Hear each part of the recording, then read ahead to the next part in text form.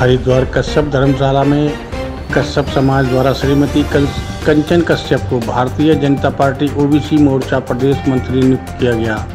प्रदेश मंत्री ने कहा, कश्यप आश्रम में मेरे भाई, बहनों एवं बुज़ुर्गों द्वारा जो सम्मान दिया गया है, मैं उसके लिए हमेशा ऋणी रहूँगी। व समाज हित में कार्य करती रहूँगी। भारतीय जनता पार्टी ओबीसी मोर्चा प्रदेश अध्यक्ष राकेश गिरी का कहना है कि अधिक से अधिक समाज सम्मिलित हो। कोई भी व्यक्ति अगर मन से समाज हित में कार्य करे तो समाज उन्नति की ओर बढ़ता है।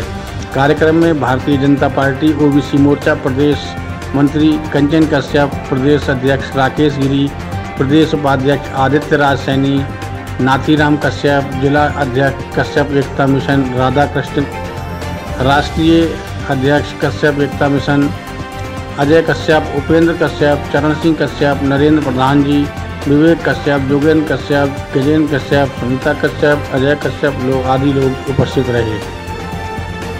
हरिद्वार से राजकुमार की खास खबर।